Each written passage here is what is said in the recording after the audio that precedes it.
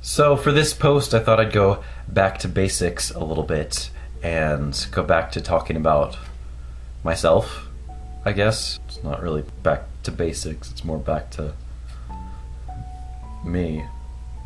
We have been challenged really early on to give a little bit of a bio about ourselves. So I thought I'd answer a few questions from a survey. You know, one of those Facebook things that everybody hates, but we all do. I know you do it too. So here we go. Are you competitive? Indirectly, I would say I'm competitive, yeah. I'm probably competitive with Matthew and Emphatic, but we are clever, so we choose different fields to go into. That way, we're not directly head to head with one another. We are competing in our separate fields, you know? That's what we do. And we're good at it. We're very good at it.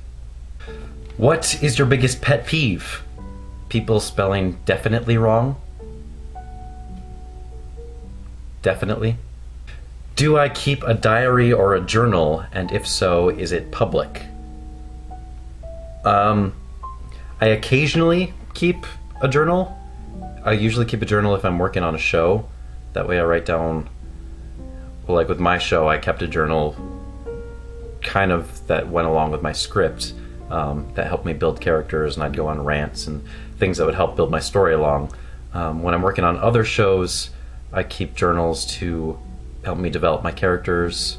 Um, I generally don't do journals of my personal life. I mean, I do, but they usually somehow work into my shows.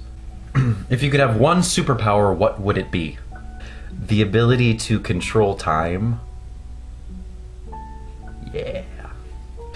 Have you ever had an irrational crush?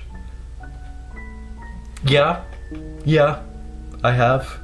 Um, I tend to write scenes about them and put them into my shows. Yeah. mm, yeah.